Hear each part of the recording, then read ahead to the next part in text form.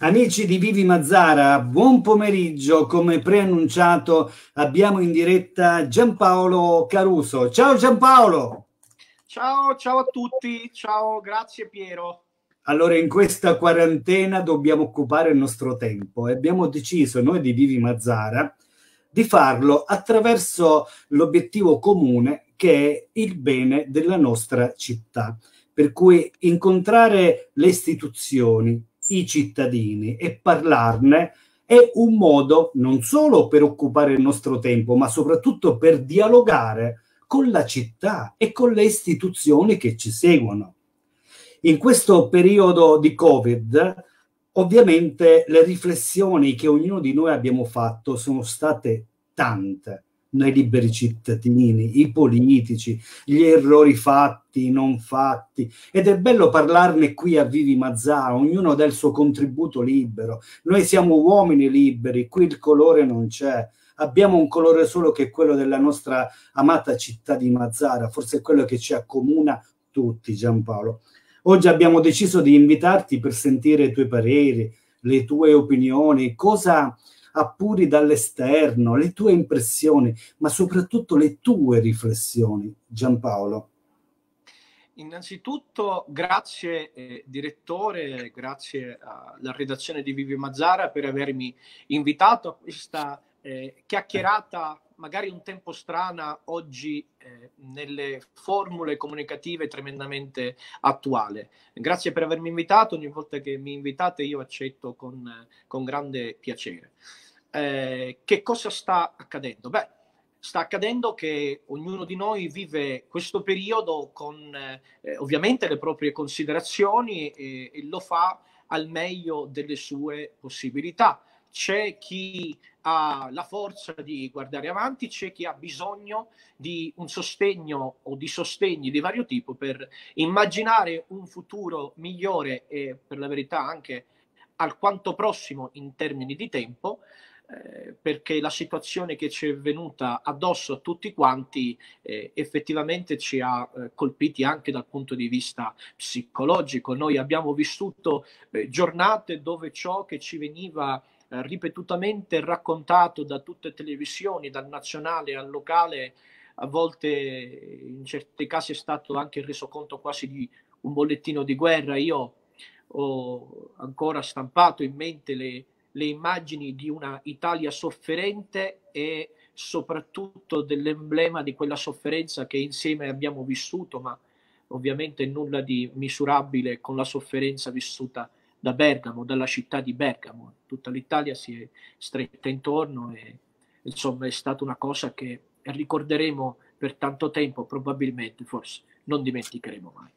Ma bisogna guardare avanti e bisogna, bisogna assolutamente eh, vedere cosa si può fare per, per riprendere al massimo delle nostre potenzialità. Ecco, questo penso possa essere da, da incipit a, a, qualcosa che oggi raccontiamo, ma che potevamo scrivere appunto ad inizio di un articolo se avessimo dovuto raccontare carta e penna questo inizio di storia. Ecco, mettiamola, mettiamola così.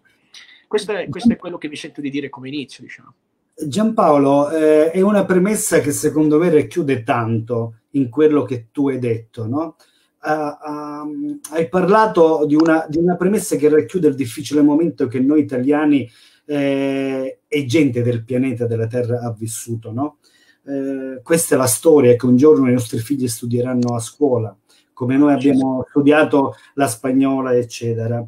Io voglio approfittarne per dire che qualche istante fa sono arrivati i dati dell'ASP di Trapani per quanto riguarda la situazione in provincia. Siamo in netto miglioramento, siamo arrivati a oggi siamo ad 8 positivi, Mazzara del Vallo è passato a un solo positivo che è in fase di guarigione, per cui purtroppo da registrare il deceduto che abbiamo avuto uh, a Mazzara e alla quale famiglia mandiamo un abbraccio pieno di cordoglio. Assolutamente assolutamente. Le condoglianze e il cordoglio eh, che, che, si devono è il minimo, in fin dei conti, per, per, una, certo. per una, tragedia, eh, al pari di, di, tragedie che purtroppo abbiamo vissuto anche in altri momenti. Certo fa anche più scalpore la questione eh, Covid, ma eh, la vita umana e la vita umana al di là delle motivazioni che hanno portato alla cessazione appunto di un, di un dono così importante. Come Giampaolo, eh, un abbraccio eh, di speranza e di ritrovata salute lo facciamo a coloro che sono guariti e che stanno guarendo, eh, che quello che tutti quanti ci auguravamo. E poi un segnale di speranza per noi cittadini che abbiamo bisogno di rinascere. Io credo che in fin dei conti la gente poi in qualche modo ritrova la forza di, di riprendersi, di rimettersi sulle proprie gambe. Ci sono eh, momenti già nella storia che hanno eh, visto inciampare, se volete, l'umanità o parte di essa è, stato ricordato il momento tragico, ma ne è stato ricordato ancora di più quella capacità innata dell'uomo di rimettersi in piedi e continuare a correre. Io penso che anche questa volta la storia ci abbia messo alla prova e noi dobbiamo farci trovare pronti eh, nuovamente per far parte di una nuova pagina che racconti nuovamente la vita. Io mi voglio augurare meglio di quanto non l'abbiamo fatto eh, singolarmente o come collettività. Forse questo è quello di cui abbiamo più bisogno, cioè un sentimento di eh, collettività che non lasci indietro nessuno. Potrebbe anche essere una frase fatta, ma in, in, ci sono eh, momenti come questi in cui bisogna far diventare pratico un sentimento che dovrebbe essere eh, innato. Uh, ad ogni modo, poi bisogna, oltre alle speranze, alla volontà di ognuno di noi di partecipare alla, alla rinascita, alla ricrescita, bisogna fare i conti con ciò che è stato e bisogna fare i conti con la realtà che è tremendamente più cura e più cruda, scusate, è tremendamente più cruda eh, di quanto eh, ce, la, ce, la, vogliamo in fin dei conti eh, o ce la vogliono in fin dei conti. Ma infatti volevo arrivare su questo uh, passaggio, no? Perché tutti fin dall'inizio della pandemia, già da due mesi, eh, con ottimismo, mettevamo le scritte nei balconi, i nostri figli scrivevano eh, slogan, ce la faremo, no? Eppure ci stiamo accorgendo che è difficile farcela, perché questo è un momento importante che viene indicato dall'alto. Ovviamente comanda la politica e noi cittadini ci dobbiamo attenere eh, allo start che dà il governo. Il governo che purtroppo non si è dimostrato diciamo, sempre precisa e puntuale nelle proprie esternazioni, già difficoltà all'interno della maggioranza nel decidere eh, cosa fare, eh, problemi secondo me anche nella comunicazione a noi cittadini, perché tu non mi puoi dire ti mando 600 euro ed è da due mesi che aspettiamo, non mi puoi dire eh, ti mando in cassa integrazione, cioè prima di dirlo aspettate, date un filo di ottimismo e quando siete pronti vi sbilanciate, no? Non parlate di mascherine che devono arrivare in Italia eh, e non sono ancora arrivate a 50 centesimi, cioè questo governo è successo nel governo nazionale chiedere scusa ai cittadini da parte del Premier Conte, come è successo nel governo regionale sulla cassa integrazione Musumeci dire scusa ai cittadini. Ma siamo in mano a dei politici che sanno chiedere solo scusa, cioè i cittadini non hanno più soldi, e si parla di miliardi continuamente e cambiano i decreti da marzo passa aprile, aprile, maggio, eh, adesso il riscatto, il rilancio, c'è un gioco di nomi. Ma signore, la situazione è in mano ai cittadini, immedesimiamoci a loro, perché un politico mi prende giustamente o non chi 20.000 euro al mese, chi 15.000 euro al mese e farsi vedere in televisione è molto facile. Ora, non voglio andare a contestare lo stipendio dei politici, ma ahimè, metteteci in condizioni adesso di vivere, dalle famiglie alle attività. Uh, non c'è ombra di dubbio che io eh, condivido eh, quello che hai appena esternato e io eh, comprendo bene che ci siano ehm, situazioni che effettivamente fanno uscire dai gangheri, però cerchiamo di fare un attimo di piccola cronostoria. Noi facciamo conto che eh, tutto un tratto è piombata eh, questa situazione molto particolare. E io credo che dal punto di vista della comunicazione, io parlo a livello nazionale, quindi il governo, e, e, sia dal punto di vista delle attività che ha svolto per combattere questo Covid, in fin dei conti la comunicazione è stata, eh, come posso dire, tremendamente altalenante eh, almeno per quanto riguarda l'inizio, così come invece di anticipare in qualche modo l'effetto di questo virus, in realtà ci si è ritrovati a rincorrerlo di giorno in giorno e questa fase di rincorsa è passata dall'aspetto sanitario fino all'aspetto economico, ma rincorri oggi e rincorri domani i problemi venivano eh, ad accumularsi. Noi abbiamo eh, secondo me, visto, io lo dico in tutta franchezza, noi abbiamo visto una gestione di questo Covid che è stata più ideologica che pratica. All'inizio si parlava andavano in giro tanti politici nazionali appartenenti alla maggioranza di governo dicendo che dovevamo tenere tutto aperto, che dovevamo fare la festa dell'involtino primavera e, e, e poi abbiamo visto che, che, forse non è stata la cosa migliore di tutti da fare. Noi ci siamo ritrovati con un lockdown eh, durissimo che ha messo a dura prova eh, la gente, che è rimasta a casa in fin dei conti e si è comportata bene al netto di qualcuno che voleva fare il furbo ed è bene che... Eh, insomma si siano presi dei provvedimenti. E allora però ci si aspettava di fronte ad una situazione che man mano dal punto di vista sanitario si andava diciamo sistemando fino ai dati di cui parlavi poco fa tu eh, quindi da Milano fino a Mazzara del Vallo, si è innescato tutta una serie di problematiche economiche che al netto di una uscita dal problema sanitario sarebbe diventato incombente il problema economico ed è quello che in fin dei conti va analizzato quando ci riferiamo alla questione eh, della, della rinascita e della ripresa.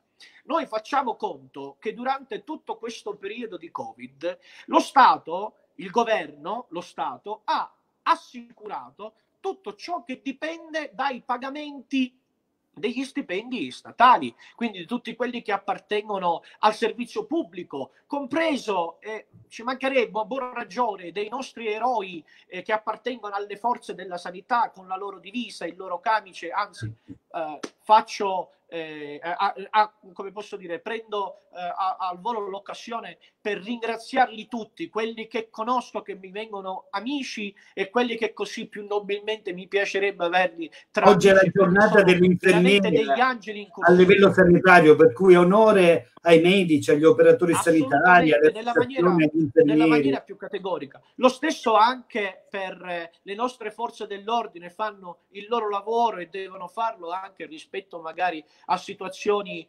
eh, particolari. Ora, mentre lo Stato pensa a tutto questo e quindi c'è tutta una tutela per tutti questi pagamenti di stipendi, anche per la parte economica sociale che lo Stato rimpingua. Io parlo delle carte REI, parlo dei redditi di cittadinanza, parlo anche delle pensioni, però non si è occupato e non si preoccupa bene di ciò che consente allo Stato di poter continuare a rimpinguare questa parte del servizio pubblico, cioè tutta quella parte di ceto produttivo che sommi capi si chiamano partite IVA, che sono gli autonomi, che sono i professionisti eh, e, e, che in poche parole sono appunto il motore della produzione eh, italiana. Non solo produzione dal punto di vista ognuno del proprio prodotto individuale che fa parte della catena della produzione eh, italiana, ma si tratta eh, di eh, un motore che appunto consente allo Stato di potersi vantare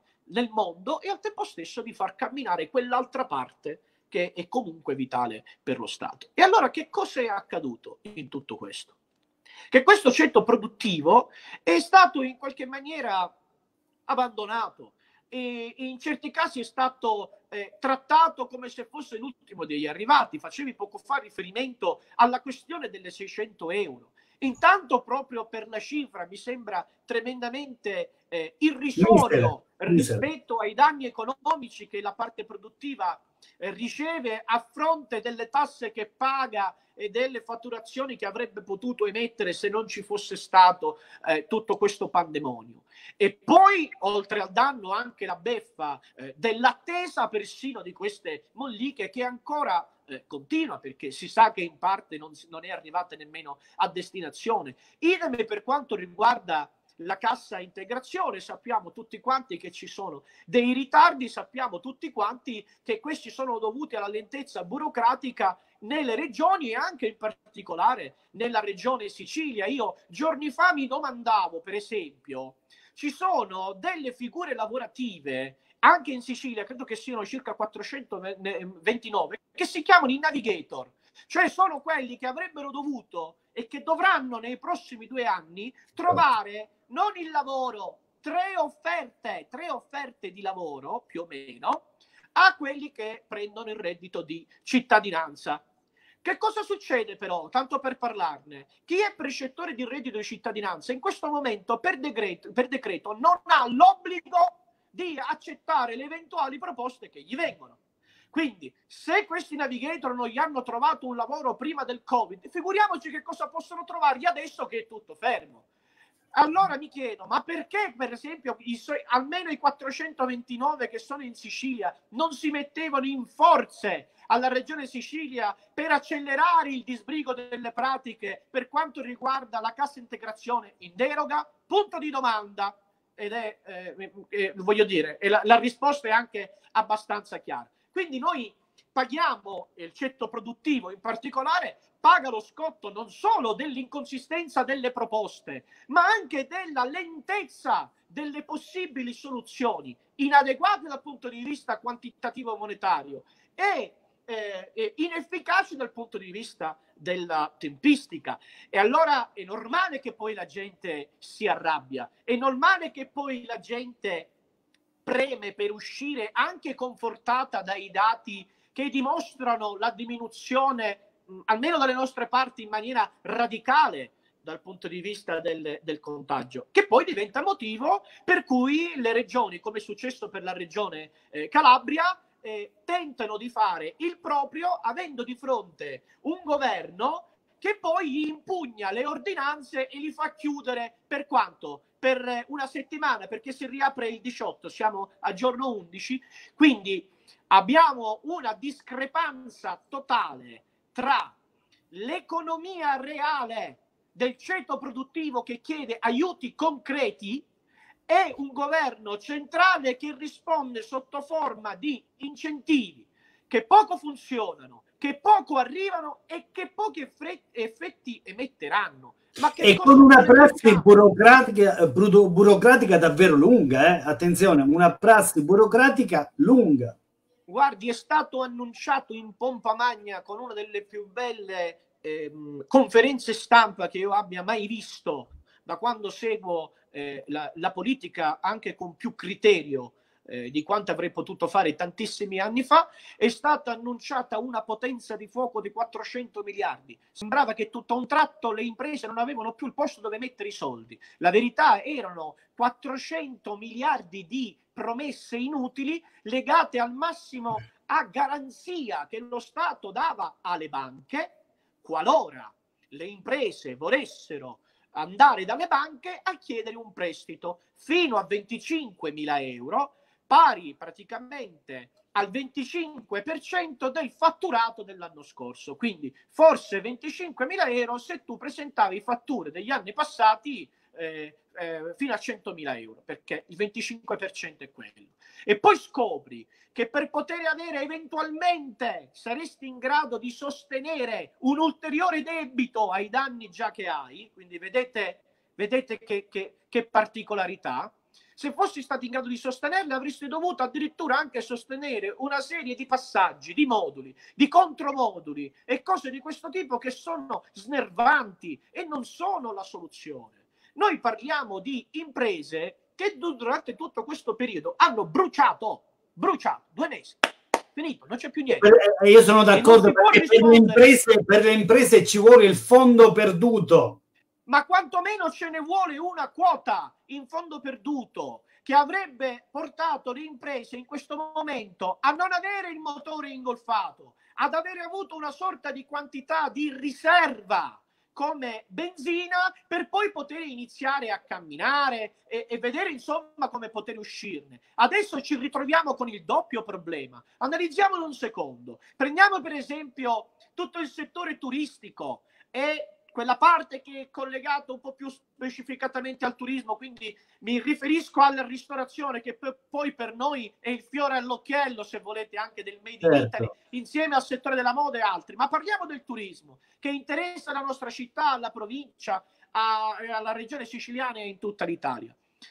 In provincia di Trapani ci sono eh, circa eh, 35, eh, 35 mila posti di lavoro, no, 8, tra 8 e 9 mila posti di lavoro legati a tutte quelle strutture alberghiere ed extra alberghiere che in questo momento soffrono e soffrono tremendamente perché il turismo ovviamente si è bloccato.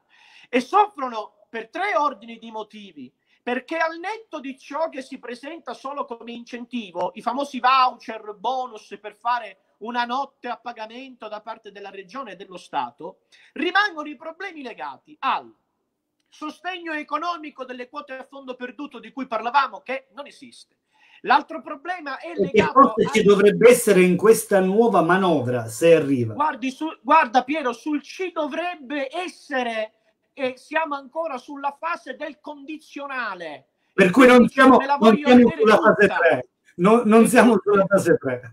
No, No, comunque siamo sul condizionale e me la voglio vedere tutta. E comunque il condizionale non vorrei che presupponga a condizione di che? A prezzo di che? Vediamo. Prima vediamo e poi discutiamo. Al momento questa è la situazione. Non c'è sostegno economico.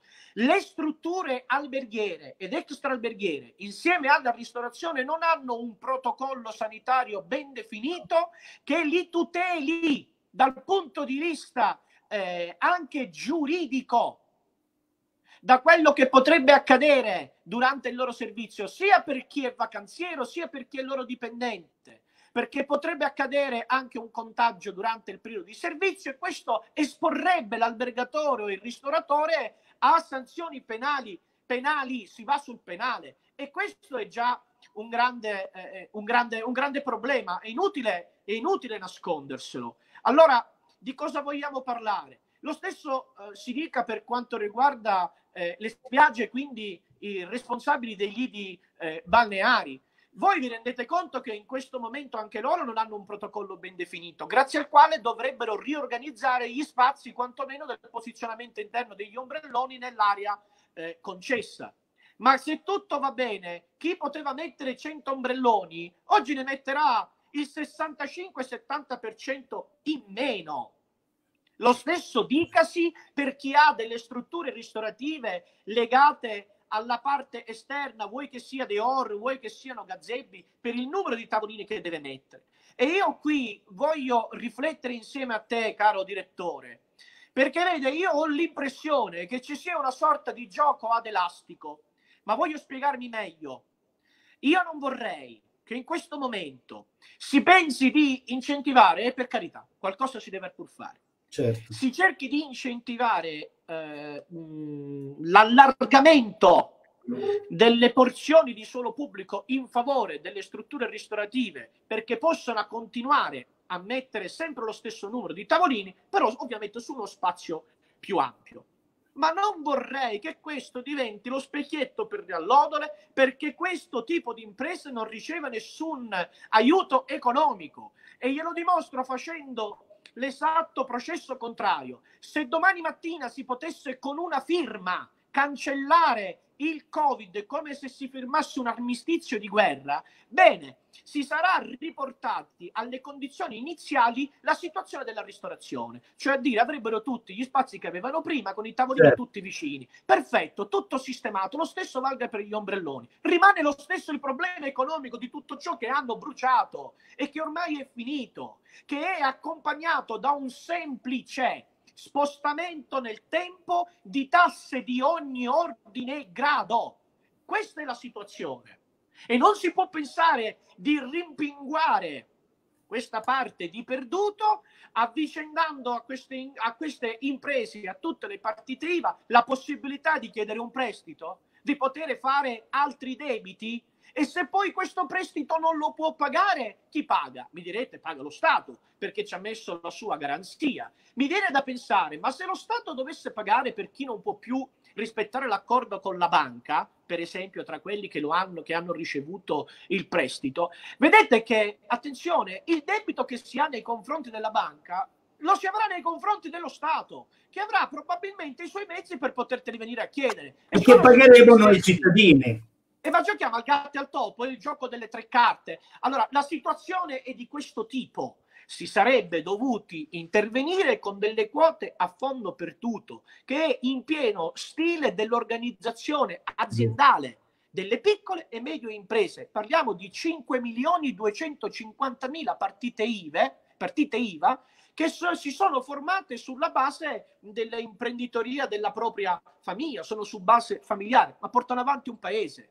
Questa è la Dunque, situazione. Allora, Giampaolo, guarda, dal 18 probabilmente eh, ci sarà la riapertura di parrucchierie, centri di estetisti, eh, secondo me anche ristoranti, trattorie, pizzerie, eccetera ma il problema forse arriverà dal 18 in poi, mentre oggi si può fare l'asporto e sono state date delle direttive, bene o male, insomma, qualche locale ha iniziato ad aprire battenti, non tutti comunque, anche perché c'è poca mentalità sull'asporto, eccetera, non siamo a Milano, eccetera. Però quello che dico io, i problemi inizieranno proprio dal 18, perché ancora, come dicevi tu, gli stabilimenti balneari non sanno che direttive adottare, possono montare il bar e non gli ombrelloni. Puoi montare gli ombrelloni alla minima spesa, però se devono andare ad acquistare delle strutture eh, anti-Covid, è chiaro che eh, devono affrontare le spese e devono organizzarsi altre spese ancora. E a loro quale sostegno arriva? Punto interrogativo. Non basta dire non facciamo pagare il demanio per l'anno 2020 e poi tanto vale che lo stabilimento balneare non apre perché secondo me se apre lo stabilimento balneare senza avere venduto gli ombrelloni rispettando le giuste no, distanze sociali avranno, avranno problemi economici e allora, visto che non c'è nessun aiuto economico eh, che si profila all'orizzonte per gli stabilimenti balneari, bisognerebbe anche pensarci un attimo. Eppure, in qualche maniera, anche loro devono sopravvivere. Io penso a quei ristoranti che dal 18 in poi, ristoranti che hanno pochi metri quadri all'interno, come fanno a mettere un tavolo ogni 4 metri se già un locale 50 metri quadri, 100 metri quadri, cioè, eh, e non hanno magari spazio all'esterno di poter mettere dei tavolini, perché Benissimo. fino a quando abbiamo delle pizzerie che hanno spazio fuori, all'esterno, all'aperto, siamo d'estate, allora qualche pagoda, bene o male, ci sta allargarsi, no? Guardi, direttore, ma eh, non farebbe differenza ad entrambi perché persino chi ha eventualmente di fronte a sé ancora uno spazio da poter, tra virgolette, eh, farsi concedere, se vuole benevolmente aggredire con eh, altri tavolini rimangono comunque due problemi. Il primo è sempre quello economico e il secondo che bisogna considerare è il fattore psicologico. Non è che è automatico che all'aumentare dei tavolini aumentano gli avventori perché li hai messi a 4 metri di distanza. Si dovrà pure anche fare il calcolo che ci sarà comunque un periodo durante il quale ci sarà una certa deterrenza nel ritornare all'aperto come si faceva prima. E quindi che cosa significa? Che se prima si considerava che ogni, ogni tre tavolini all'interno di una pizzeria garantiva lo stipendio al cameriere che serviva oltre al resto, oggi la situazione è completamente al contrario. Quindi anche le formule di asporto e cose di questo tipo permettono, tra virgolette, in qualche modo di sopravvivere. Chi in questo momento lavora tenta di eh, sopravvivere per non chiudere del tutto. Anche dal punto di vista alberghiero, gli incentivi di cui parlavo prima, se non ci sarà altro grande problema, e ancora non si sa, lo spostamento interregionale, cioè tra le regioni, è impossibile immaginare che le imprese alberghiere ed extraalberghiere possano sol campare di un mercato turistico fatto del regionale, perché quello se no arriva a coprire il 20, il 25% e con il 20-25% migliaia e migliaia di strutture non arrivano nemmeno un, un pizzico su il punto oltre il quale realizzerebbero degli utili di impresa.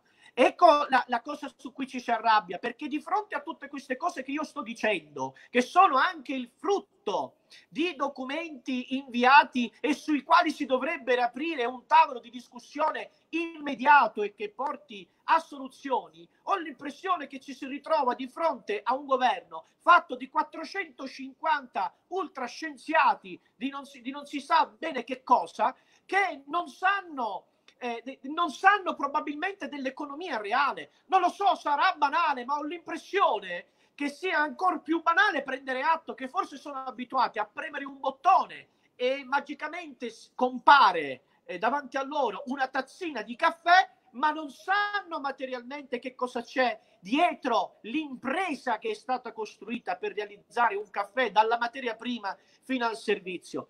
E allora questo Covid ho l'impressione che abbia accelerato ciò verso cui tendevamo nella formula eh, forse più critica della globalizzazione. Ha accelerato eh, dei processi che hanno portato in evidenza il, il, il solco di differenza che c'è tra una finanza impressionante, tra eh, sistemi globali che se ne stanno strafregando delle particolarità locali. E questo cozza col sistema identitario dell'Italia, questo cozza con il sistema produttivo identitario dell'Italia, ma lei si immagina come può continuare a produrre e ad essere riconosciuto in termini economici la qualità, la creatività del Made in Italy se noi stessi ci applichiamo una burocrazia che ci sfilaccia l'anima certo. nel momento in cui dobbiamo produrre e ancor più quando ci interfacciamo con i mercati esteri noi troviamo che il nostro grana padano o i nostri migliori prodotti hanno problemi ad essere riconosciuti perché da qualche altra parte hanno confezionato una pasta filante che fa schifo solo a guardarla, però ci hanno messo il timbro italiano sopra e chiuso la partita. Qui c'è da riorganizzare tutto il sistema non solo della produzione, della produzione intesa come tutti quegli incentivi a che sia conveniente fare impresa in Italia, eh, direttore, a che allora. sia conveniente avere una partita IVA, eh, e al tempo stesso alla difesa del Made in Italy to cure ovunque. A questo, questa è una eh, proiezione che deve cambiare totalmente l'assetto mentale e ideologico del governo italiano, ma non di questo che io penso che non avrà eh, lunga vita, ma di quello che mi auguro verrà in seno anche a queste mie modeste considerazioni. Guardi che l'aspetto dell'assistenzialismo a tutti i costi non è servito a nulla se non a provocare danno. Io non so se quello che sto per dire farà venire il, il mal di pancia a qualcuno, ma bisogna dire le cose per come sono. Il reddito di cittadinanza, sono sicuro che in qualche caso avrà dato una mano a qualcuno. Io non lo metto in dubbio, ma dal punto di vista dei massimi sistemi non ha realizzato ciò che ci si aspettava, cioè un'uscita da parte della persona che lo riceve dallo status quo che lo eh, rendeva merite- meritevole del reddito per entrare in uno stato grazie al quale nel mondo del lavoro, iniziato mondo a, del lavoro, a, certo. immaginare un suo lavoro, una sua impresa e tutto quanto. Questo non lo produce. Pensi se al posto del reddito di cittadinanza si fosse pensato a dedicare la stessa somma a quelle imprese che avrebbero aggiunto alle 700 e passa un'altra quota per poter prendere un lavoratore con sé. Si sarebbe realizzato lavoro, si sarebbe dato dignità alla persona, si sarebbe realizzato una maggiore produzione, quella persona avrebbe avuto il suo stipendio e avrebbe partecipato, oltre che alla produzione, anche ai consumi e anche al pagamento delle tasse che vanno letteralmente abbassate, ma abbassate in maniera drastica. E al tempo stesso la burocrazia. Allora è il sistema che deve essere completamente rivoluzionato. Non è possibile che in termini blandi ma tremendamente veri stia diventando tra poco più conveniente ricevere una sussistenza assistenziale da parte dello Stato anziché vedere la propria capacità per, personale di diventare imprenditori della propria eh, eh, de, del proprio prodotto, delle proprie certo, cose certo. E, ah. ed essere quasi, eh, come posso dire, ta, ta, tacciato Però... di essere uno che si merita eh, le, le, cose importanti. Cioè cerchiamo di... La tua analisi è perfetta. Allora, quello che anche per io... il mondo dello spettacolo, anche per quello che li riguarda. No, no, no, no, lì non esistiamo perché addirittura si parla ancora, dobbiamo aspettare altri 8-9 mesi. C'è roba guardi, assurda guardi anche dal punto di il vista cinema, teatro, tutto il lavoro che c'è, l'indotto. Qui parliamo di una perdita dell'economia. Guardi, c'è anche un problema. Esattamente, c'è anche un problema da questo punto di vista legato al fatto che non è possibile che in un paese come l'Italia, io non voglio parlare del mondo, parliamo dell'Italia, e in questo caso anche la Sicilia nel senso che faccio focus sulla regione italiana eh, chiamata Sicilia.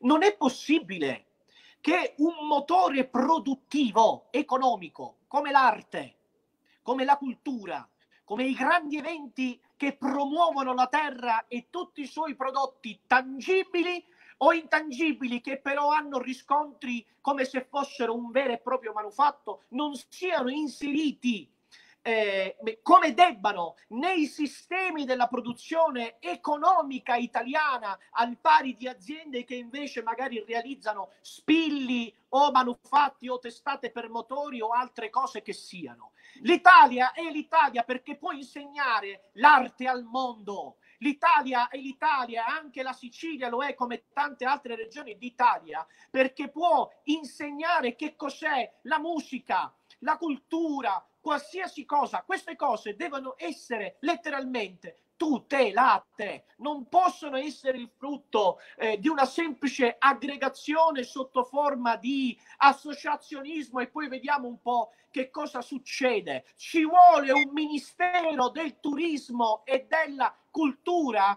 che abbia la forza come se fosse un vero e proprio Stato, cioè lo Stato del turismo. È questo che deve diventare l'Italia, insieme a tutto quell'apparato produttivo che fa non tanto da corollario, ma che fa da arteria perché questo cuore continui a battere. Eh, direttore, se non si guarda in questa direzione, noi avremmo forse traghettato le cattivissime acque di questo periodo, ma ci ritroveremo di fronte al miraggio di una terra promessa, al miraggio di una terra promessa che poi si scoprirà un'altra tempesta, magari per un altro motivo e questo sta diventando letteralmente insostenibile. Ecco. Glielo dice un imprenditore. Questo No, tutto questo allora parte ovviamente dal governo centrale. Un attimo di politica, Giampaolo, perché il problema sta a, a Mazzara, diciamo, lupisci fede della testa, no?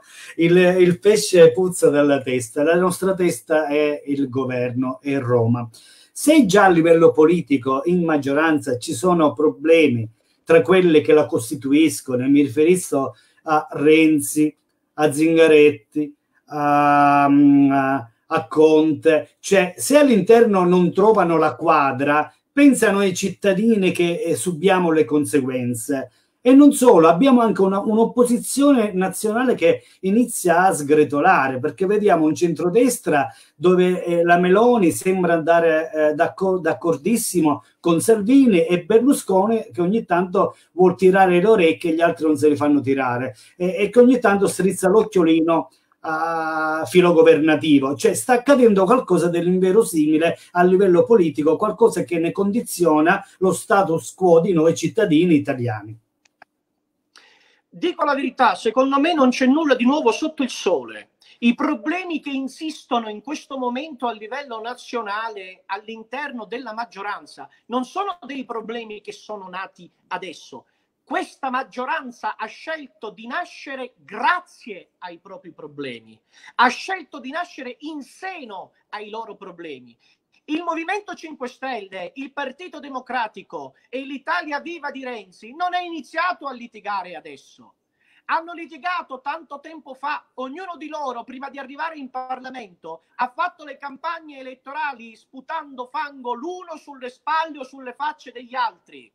E quando è andato via quel governo giallo-verde, si poteva tornare a fare elezioni? Probabilmente sì.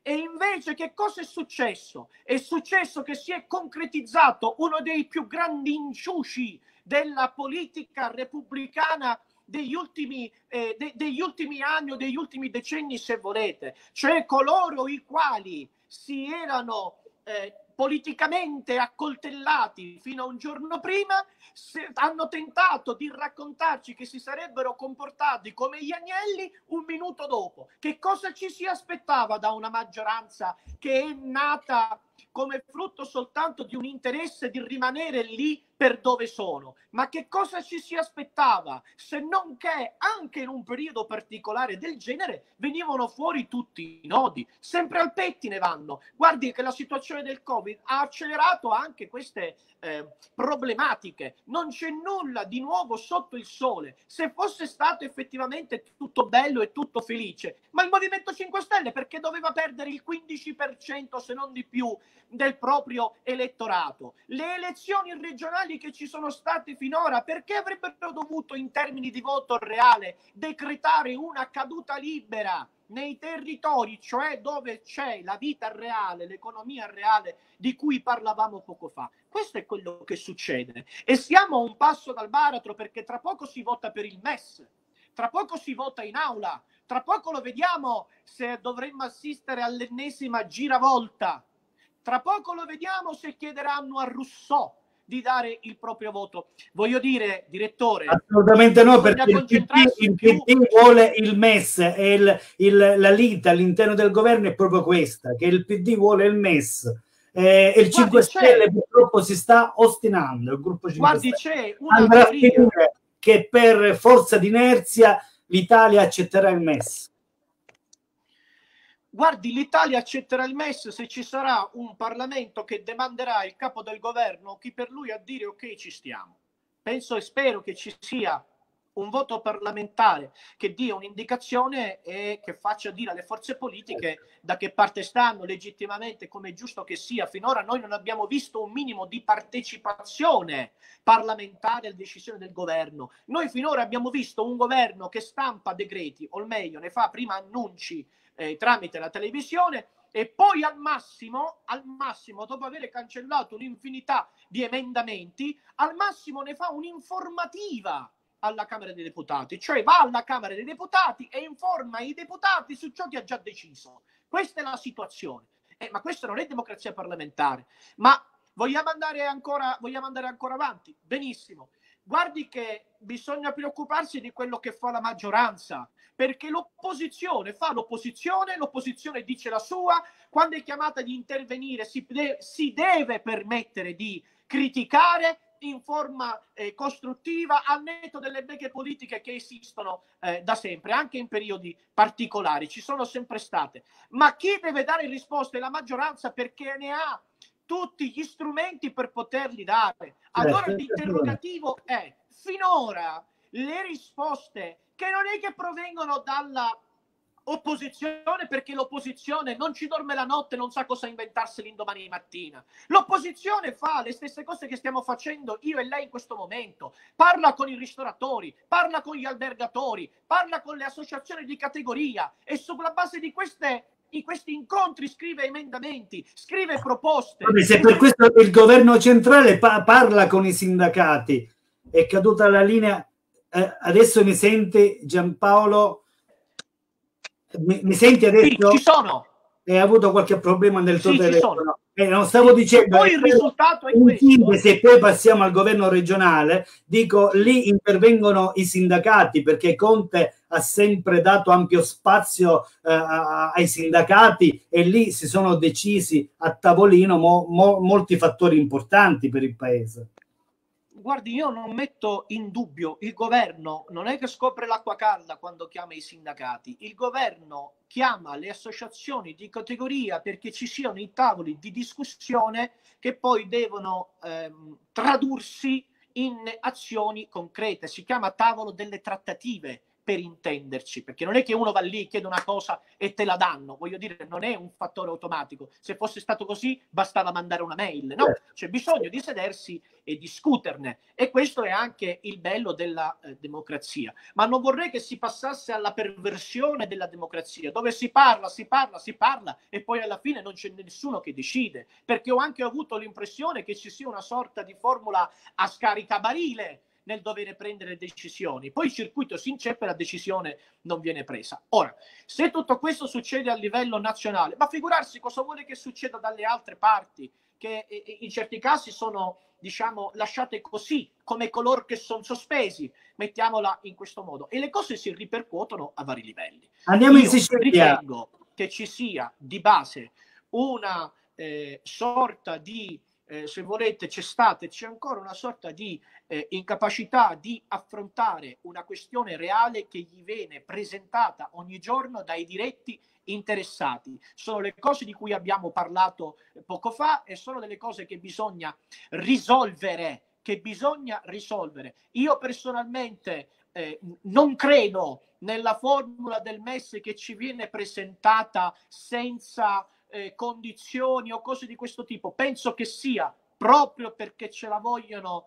eh, come dire, zuccherare, penso che sia eh, un bel cavallo di troica che in questo momento ce lo fanno passare come zuccherato, come caramellina durante questo periodo particolare e poi ritornerà ancora più pesante di quanto avremmo potuto immaginarlo. Bisogna stare molto attenti e questa sarà una responsabilità delle forze politiche che hanno la possibilità di incidere su questa, su questa questione. Non c'è, altro, non c'è altro da aggiungere. Ma Giampaolo, Giampaolo, questo cavallo di Troia da Roma che pensi possa partire eh, in maniera così dolce e poi ce la fanno apparire zuccherata qualsiasi cosa che fanno, pensi che possa coinvolgere il sistema politico regionale anche siciliano che sembra prossimo a un rimpasto regionale o ad un azzeramento della giunta dove si pensa che possa entrarne a far parte la Lega, la Lega al governo della regione e Forza Italia. Addirittura di Forza Italia si fa il nome del mazzarese Tony Scilla. Eh, come pensi che possa andare a finire politicamente questo eventuale rimpasto e come vedi la, l'attuale situazione politica alla regione che pare un po' soffocata, no? Ma personalmente eh, ritengo che mh, dalla costruzione, dalla messa in piedi di questo governo eh, nazionale, eh, la formula del castello di carte può reggere finché può reggere. Dopodiché ai rimpasti di giunta ci hanno anche fin troppo abituato. Io mi preoccupo eventualmente dei meriti che dovrebbe avere l'una o l'altra persona per andare a ricoprire eventuali, eventuali incarichi. A volte anche nella specifica che ha fatto lei l'ho sentito dire tante volte, poi il risultato è stato eh, contrario. Personalmente sono cose di cui io sinceramente non mi preoccuperei, ma che significato avrebbe preoccuparsi del, del cambiamento regionale in questo momento? Ma allora preoccupiamoci anche di cambiare il governo in questo momento. O delle due l'una, o è il momento adatto per pensare a cambi di governo o cose di questo tipo, oppure non lo è. Sinceramente ritengo che in questo momento eh, ciò che è legato a questione di poltrone e di, e, di, e di, cambiamenti vari forse non è il momento più adatto. Questo non significa che non bisogna perciare... perché no, Caruso? Fra due anni... Dopo. Caruso, fra due anni si vota, perché no? Adesso è il momento propizio di iniziare a muovere le pedine, no? Eh, creare una forma di neogeografia politica e percorrerla. Stanno nascendo movimenti eh, e, le, e candidati, tipo il candidato Pietro Marino, già si sa, è ufficiale, ha dato la sua disponibilità su richiesta dell'ex senatore Papania, di Giorgio Macaddino, insomma nel movimento Via. C'è, c'è parecchio movimento eh, attorno a, a, quelle che saranno le prossime elezioni e sembra questo um, per un attimo far dimenticare anche il Covid. Guardi, io penso che il Covid non lo dimenticheremo, così come non dimenticheremo che in periodo di Covid c'è stato qualcuno a livello locale o nazionale che si preoccupava, dove doveva movimentarsi prima per posizionare la propria persona, perché tutti questi movimenti sono movimenti personali. Io non ho sentito parlare di contenuti e allora se cose del genere bisogna pensarle due anni prima. Mi aspetto che ci sia una, un pensiero legato a programmazioni politiche che si preoccupano dello stato di fatto di cosa dovrà diventare l'Italia o la Sicilia nei prossimi 15-20 anni. Sinceramente, di chi pensa di come doversi sistemare ora, ne, perché ricandidarsi eh, fra due anni, sempre che si candiderà per sapere lui che cosa deve fare personalmente, sinceramente non è il mio primo pensiero, sono certo che non è il pensiero né suo né della gente che ascolta esternazioni di questo tipo. Mi piacerebbe che la politica ritornasse a essere politica, mi piacerebbe che le persone che partecipano alla politica ritornassero a essere politici, che si preoccupino cinque anni prima di ciò che dovranno realizzare per i vent'anni a seguire perché ogni persona che partecipa alla politica, dal più eh, territoriale dei livelli fino a quelli che arrivano fino a Bruxelles, ha questo genere di impegno morale con le persone a cui chiede la fiducia. E ancora oggi, ancora più oggi, ma cosa vuole che gliene può interessare alle persone che hanno il problema di cosa mangiare questa sera rispetto ai movimenti di qualcuno che pensa probabilmente a pancia piena di preoccuparsi del suo futuro e delle sue eventuali candidature. Guardi, io eh, oh, faccio politica da tempo, io ho iniziato con eh, i, i, pantaloncini corti, come suol dirsi, sono stato eh, fuori dal, dalle sedi istituzionali, sono stato all'interno delle sedi istituzionali. Eh, Caruso è un figlio d'arte, Mario Caruso dovere... è stato oh, oh, una grande espressione de- della politica anche nazionale stando anche al Senato. Eh, lo voglio ricordare con stima perché ho avuto l'onore di conoscerlo. Io ti ringrazio per il pensiero, ma lei si immagina se, ah, se mi permette anche figlio di mio padre, eh, io potessi esternare pensieri che riguardassero solo esclusivamente eh, la, mia, la mia persona, ma, ma insomma, ma, ma che figura. Allora dico una cosa molto semplice, io lo voglio dire, lo dico soprattutto ai ragazzi diciamo della mia generazione e di qualche generazione precedente e diciamo più prossima, eh, che ha un'età più, eh, più piccola della mia, perché sono più che convinto che mai come adesso, anche rispetto a tutto quello che sta accadendo, c'è bisogno di costruire una nuova classe dirigente che abbia una forma mentis legata se volete, anche all'impresa e dal punto di vista economico e dal punto di vista dell'impresa Italia che deve essere portata avanti. Ma non si può più nemmeno immaginare che una eh, una Sicilia o un'Italia possa essere portata avanti da chi pensa due anni prima se si deve candidare o non si deve candidare e magari ancora prima non sapeva dove andare a finire per essere candidato, alla fine qualcosa ha trovato ma lei pensa che sia politica questa? Ma chi ci ascolta pensa che sia politica? Ci si preoccupi di scrivere e poi di realizzare esattamente ciò che si è scritto con gli strumenti che le istituzioni e che, le, e che la politica dà per poter fare cambiamenti. E ci si candida per poter fare quei cambiamenti, perché se no sa che cosa succederà, caro direttore succederà che i soliti volponi che ci pensano due anni prima continueranno a spacciare per politica i propri movimenti personali e coloro i quali, questo per intenderci, si sono presentati come il nuovo, alla fine il risultato qual è stato? Che si sono presentati e, e, si sono dimostrati forse anche peggio di quelli che avevano combattuto, tant'è che poi ci fanno i governi assieme e non basterà dire, e vabbè, però noi ci prendiamo, eh, ci tratteniamo soltanto la metà dello stipendio. Ma che vuol dire? Che, che avete responsabilità a metà? E eh, a questo punto consegnate anche l'altra metà e chiudiamola qui. Voglio dire che c'è bisogno di prospettiva anche a livello locale. Per cui, Caruso, allora Caruso non credi a queste candidature di cui si fanno gennomi? No, Vedi no, guardi, io Mazzara, Mazzara del Vallo, Radio Politica, attraverso delle intercettazioni ha intuito che saranno circa cinque i mazzaresi che andranno eh, alle elezioni regionali in candidatura. Si parla di nominativi, però non si capisce chi sta a centro, chi sta a destra e chi sta a sinistra. Benissimo, questo è un altro problema, perché vede, quello che dice lei, io mica non ci credo. Io sono preoccupato e ci credo proprio, siccome credo che sia così, sono preoccupato proprio per questo. Io non sento parlare di, ehm, di contenuti, non c'è qualcuno che dice io mi voglio candidare perché immagino di poter contribuire a questa storia. Intanto io mi voglio candidare, da qualche parte mi devo candidare e poi si vede. Questa non è politica. E mi preoccupo che il numero delle persone che immaginano di seguire questo tipo di ragionamento siano forse anche più di quelli che dice lei. Questa è la preoccupazione.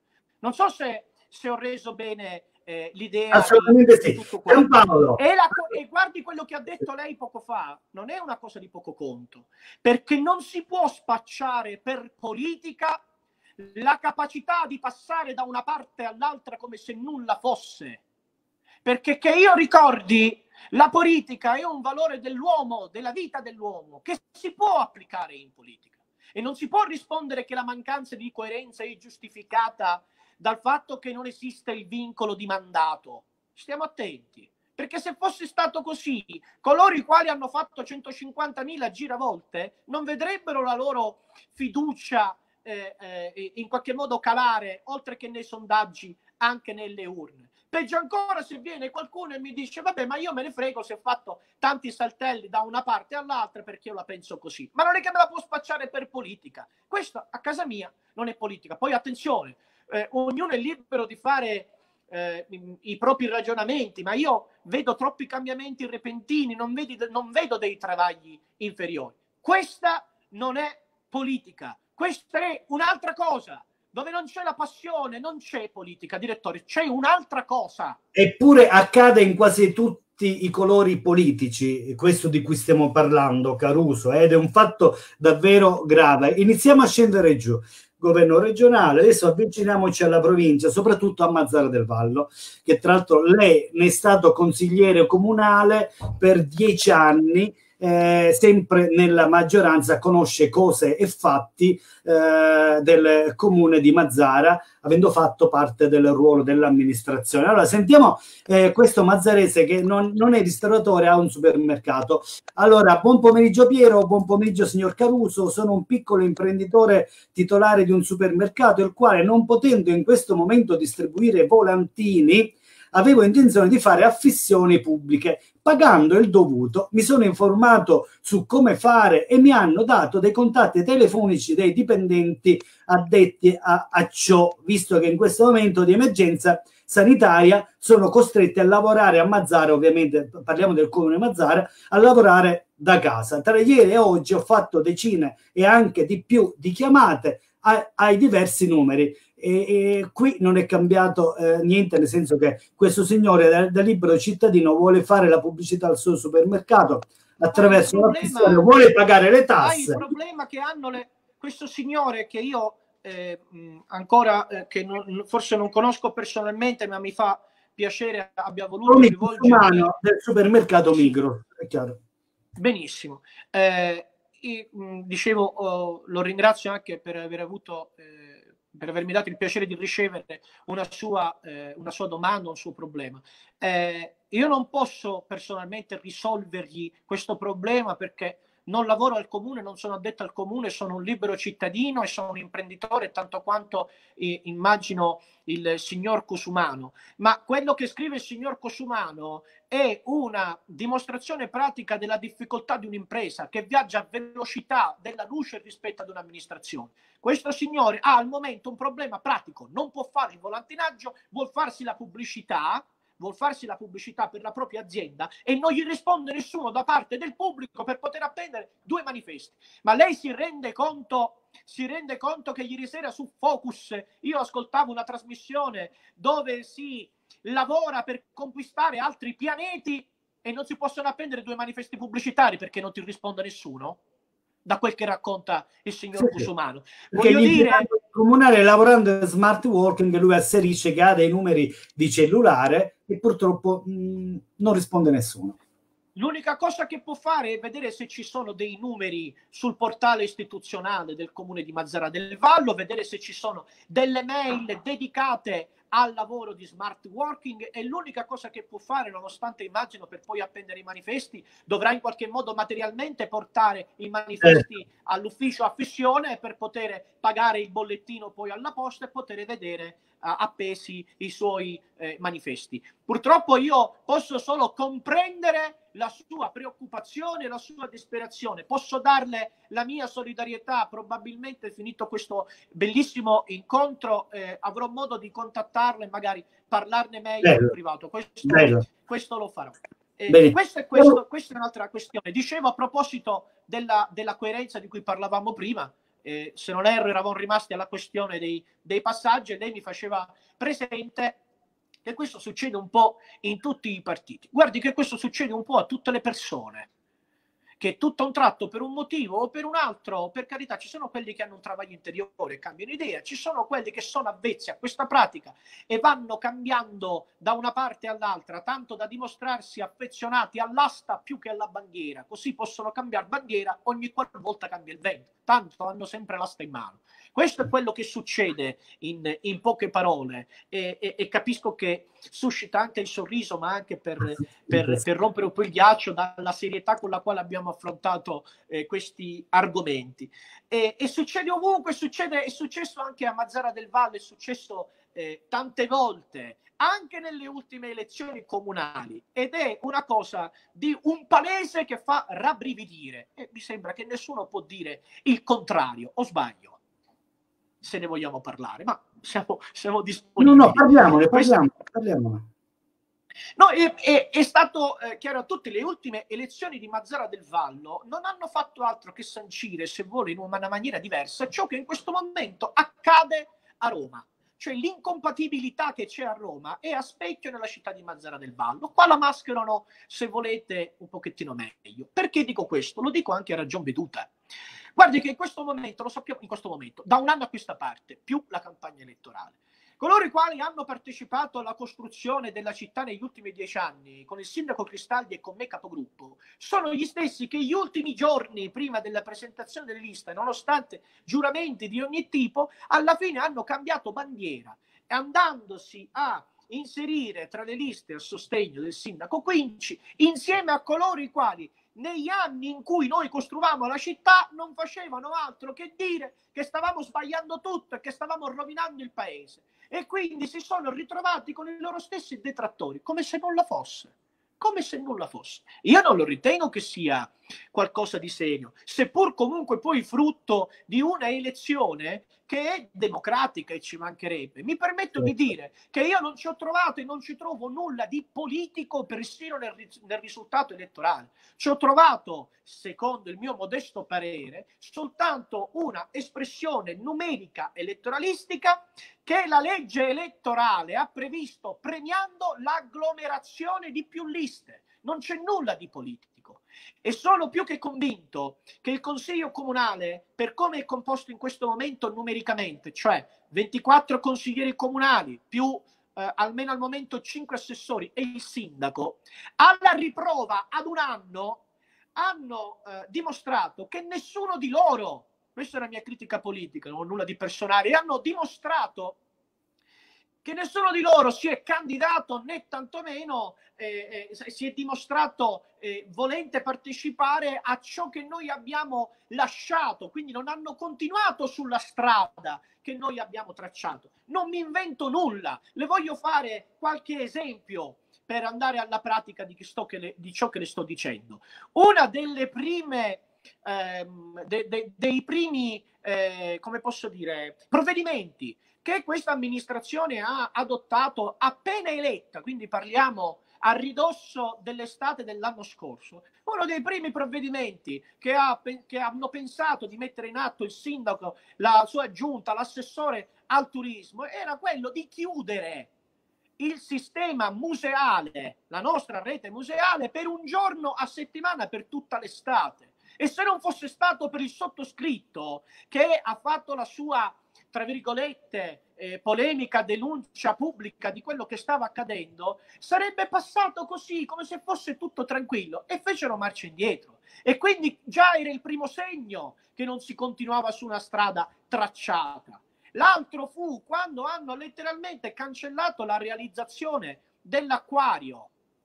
Hanno cancellato la realizzazione dell'acquario che avrebbe portato splendore maggiore, più colore, sarebbe diventato un punto di riferimento. Lo hanno letteralmente cancellato. E il che fa rabbrividire tanto quanto fa rabbrividire l'atteggiamento di coloro i quali hanno lavorato insieme a me perché si potesse realizzare anche l'acquario tra le altre cose. Parlo di ex assessori e di ex, ex consiglieri comunali che avrebbero dovuto gridare allo scandalo di fronte a questo colpo di gomma e invece erano lì ad applaudire come se nulla fosse me- rinnegando persino quello che hanno fatto loro. Ma io questo genere di atteggiamento io lo posso portare anche sulla questione del bilancio. Noi abbiamo assistito all'assessore, all'attuale assessore del bilancio di Mazzara del Vallo, insieme al sindaco, che si lamentavano di avere trovato eh, delle casse comunali eh, vergognose, di una situazione ancora più vergognosa di quanto eh, non, non immaginavano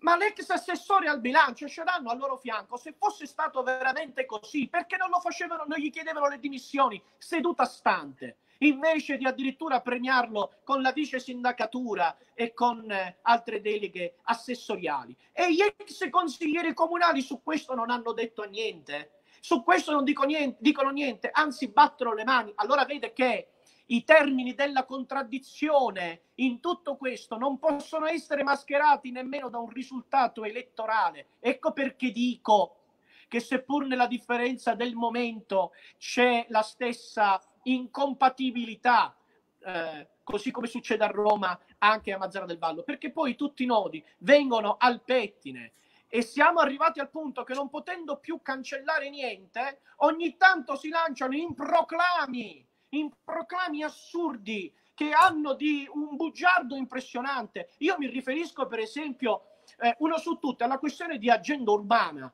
alla questione di agenda urbana che è stato tacciato durante il Covid come un finanziamento pari a 15 milioni di euro come se fosse frutto del lavoro di questa amministrazione, quando persino le pietre sanno insieme sempre a tutti gli ex appartenenti ai miei ex colleghi, tutte le pietre sanno che questo appartiene a tutto quell'insieme di milioni e milioni di euro di progetti, di finanziamenti europei che gli abbiamo lasciato nei cassetti quando abbiamo lavorato con l'amministrazione Cristaldi. Ma che cosa ci vengono a raccontare? O se vuole in termini più di Oxford, a chi sentono sfottere?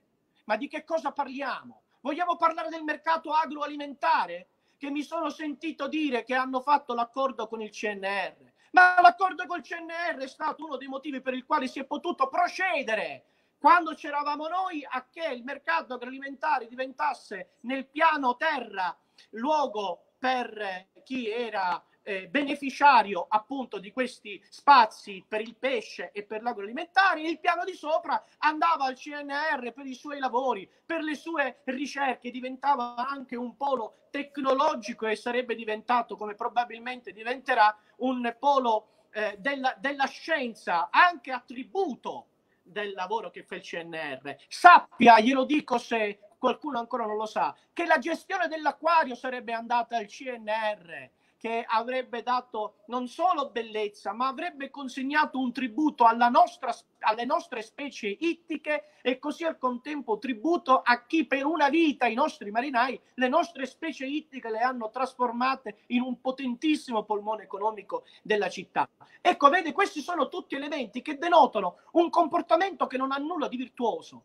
E voglio ricordare che questa amministrazione non ha preso in mano una città come ce la siamo ritrovata noi dieci anni fa che era ridotta ai minimi termini. Noi abbiamo consegnato un intero gioiello, noi abbiamo consegnato un centro storico dove tantissime associazioni, compreso la sua, si può freggiare di organizzare piccoli o grandi eventi che siano. Noi non abbiamo lasciato un comune in condizioni pietose, gli abbiamo consegnato un gioiello pronto, confezionato, con un nome e un cognome Mazzara del Vallo, conosciuto a livello internazionale per la propaganda che ne abbiamo fatto oltre i nostri confini e per chi abbiamo portato di livello internazionale dentro i nostri confini, sul campo dell'arte, con i messaggi per la pace, con Premier Rawat, con le grandi organizzazioni che abbiamo dato al Blue Sea Land. Noi che, no, che, no che noi fossimo organizzatori, ma noi abbiamo consentito, per esempio, al Blue Sea Land che scegliesse la città di Mazzara del Vallo per il grande lavoro che è stato fatto all'interno del centro storico, nella spiaggia e ovunque, perché dove c'è vista non ci vuole prova e non si può rinnegare tutto questo, né tantomeno si può fare in maniera ancora più becera, fare finta che tutto quello che verrà in formula di eh, eh, finanziamenti europei sono frutto di un lavoro che questi signori non sanno manco da dove vengono. Mi sembra mi sembra però Caruso è pur vero che, è pur vero che mh, il sindaco Quinci amministra da quasi un anno si può dire compreso campagna elettorale anzi meno di un anno, Oggi un anno. e eh, attenzione ha avuto anche il problema covid eh, ora, quello che dico io, non si può fare un rapporto con quello che ha avuto l'amministrazione Cristaldi che ha governato la città per dieci anni. Cioè, ma questa, questa amministrazione Quinci, cosa ha fatto di buono secondo lei?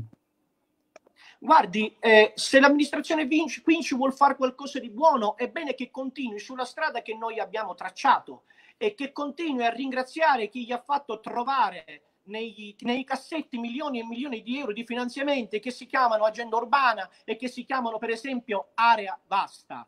E non si può dire però che questo periodo di Covid è un problema, perché un giorno può essere un problema, un giorno non lo è, perché quando io le ho parlato in riferimento all'agenda urbana, questa è stata un'uscita giornalistica chiara da parte dell'assessore eh, penso a, a, ricordo, forse lo sviluppo economico del dottor Salvatore Quinci, quindi del nostro sindaco, che ha scritto, che ha detto in formula giornalistica, io l'ho letto lì, e ha detto che durante il periodo di Covid, nonostante il periodo di Covid, abbiamo lavorato per recuperare i milioni di agenda urbana. Il mondo è fermo, l'Europa è ferma, ma a voi a chi l'ha raccontata questa bugia? Quindi cerchiamo di mettere i puntini sulle i. Io, eh, mi creda, rimango certe volte allibito di tutto quello che è stato fatto finora. Io ricordo un periodo che gli abbiamo, lasciato, gli abbiamo lasciato una città organizzatissima dal punto di vista della raccolta differenziata e abbiamo avuto i grandi problemi nuovamente per raccogliere la spazzatura. C'era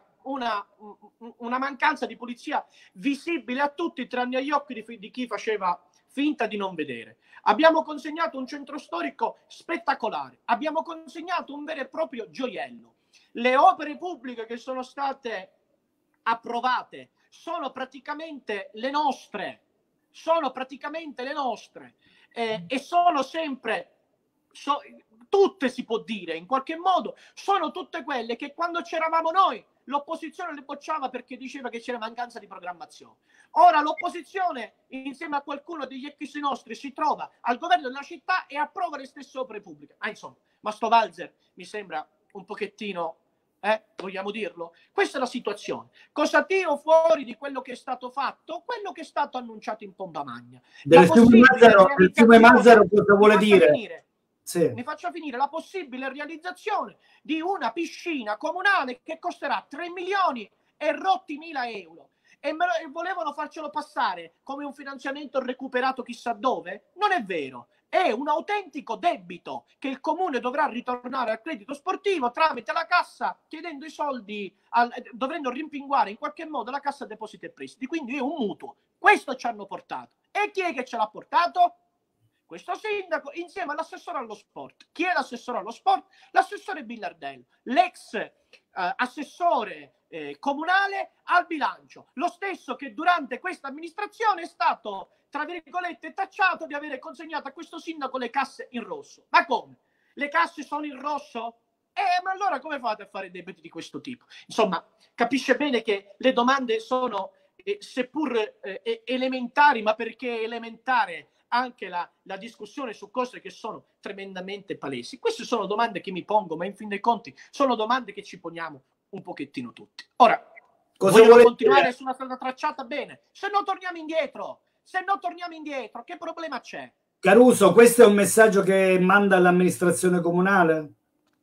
Guardi, questo è un messaggio che io mando alla città. Se l'amministrazione comunale lo vuol cogliere, lo colga, perché poi sarà, eh, sarà la città a soffrirne di, di, queste mancanze. Io in questi mesi sono stato in giro per il centro storico, ho avuto modo di fare delle videodenunce su una situazione di abbandono e di incuria. E non è che possiamo dire che sono sempre gli incivili, perché il fenomeno dell'inciviltà ce l'avevamo anche noi, ma lo abbiamo combattuto, lo abbiamo sopito, lo abbiamo fatto addormentare. Ma se tu poi abbandoni, se poi tu lasci le cose correre, eh, lasci tutto così all'incuria, l'incivile ritorna e recupera spazi e si riappropria di, di, di, luoghi che tu gli hai sottratto. Noi abbiamo sottratto luoghi agli incivili, a quella parte resistente, per consegnarli al turista, alla bellezza, alla cultura. Questo vogliamo che si faccia. Cosa, stiamo, cosa si chiede di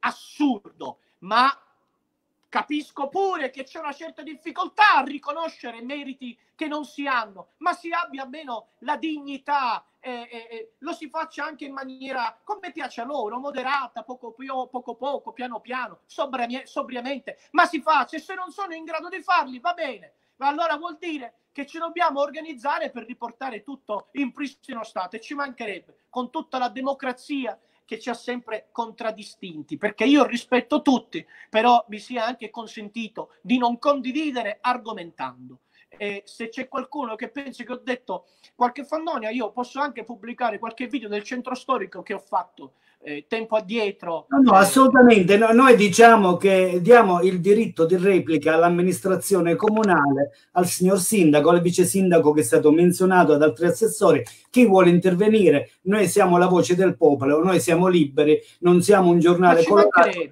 conseguenza diamo spazio a tutti e per diritto di replica, ripeto, il sindaco è invitato anche eventualmente a contattarci per rispondere al qui presente eh, Giampaolo eh, Caruso. Eh, Giampaolo, Porto, Porto, di Mazzara, Porto di Mazzara, cimitero e ospedale, in sintesi, e chiudiamo.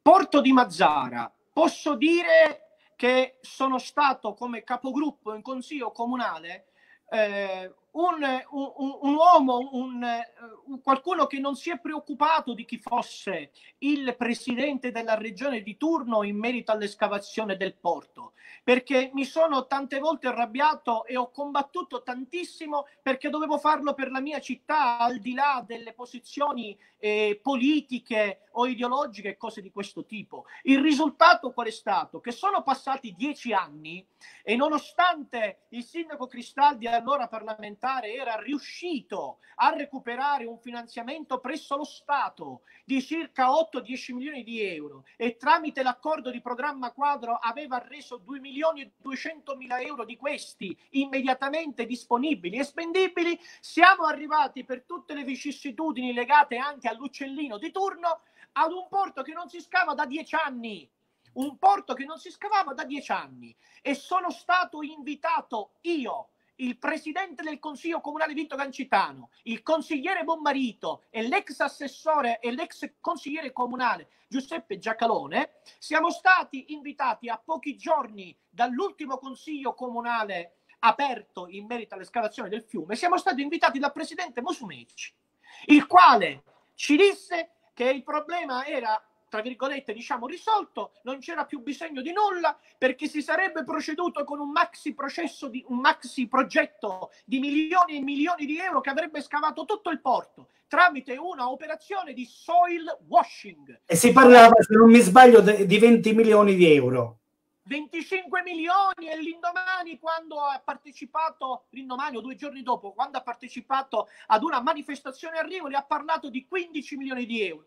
Quelli che sono io in Consiglio Comunale aperto mi sono preoccupato che intanto, mentre recuperavano i 15 milioni a chiacchiere, mentre recuperavano tutte queste operazioni di soil washing per cui lavavano i fanghi e poi i fanghi puliti potevano servire per ripascire tutte le spiagge del mondo, mi preoccupavo intanto di far iniziare l'escavazione con i soldi che avevamo recuperato presso lo Stato. E mi sono chiesto, quando alla fine questa escavazione se inizia, me lo voglio vedere, inizierà con appena 800 mila euro su 2 milioni e 2 legati proprio alla tecnica dell'escavazione perché il resto dei soldi si sono persi in progetti vari. Il risultato è che i soldi che, avevamo, che avevamo trovati noi li hanno fatti diventare quasi inutili, toglieranno qualche cucchiaino. E la promessa che ci era stata fatta eh, di del soil washing, ripeto, è rimasta tutta campata in aria. Allora mi sono chiesto già, e lo chiedo nuovamente ora, tutti quelli che sapevano di questo soil washing, guardate che è tutto